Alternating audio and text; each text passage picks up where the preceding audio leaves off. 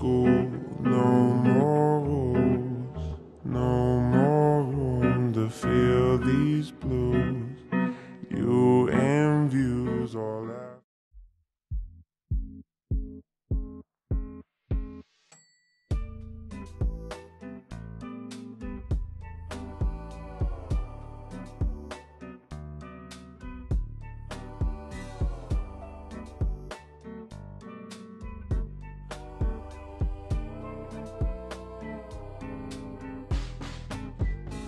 spent all of our time outside all day, doing whatever we like our way.